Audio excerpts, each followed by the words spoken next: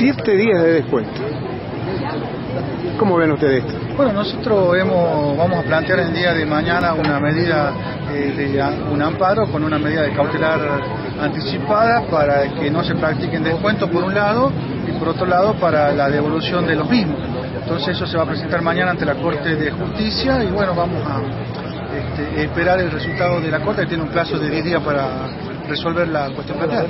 Ahora, ¿ustedes eh, cuándo van a obtener los recibos para ver si se verifica esto? Eh, hay algunos docentes que ya han acercado hasta el día de ayer algún tipo de documentación, pero recursos humanos este, cortó la información. Así que bueno, con los elementos que tenemos vamos a eh, realizar las presentaciones correspondientes. ¿Cómo van a seguir las cosas? Hoy vamos a tener una reunión y vamos a establecer, este, eh, eh, o sea, mañana cómo continúa el plan de lucha. ¿Están teniendo pleno apoyo de parte de la parte gremial de ustedes? Y yo creo que sí, de la docencia, de la base, sí, en el sentido de que ya hay un alto acatamiento a las medidas. Gracias, doctor.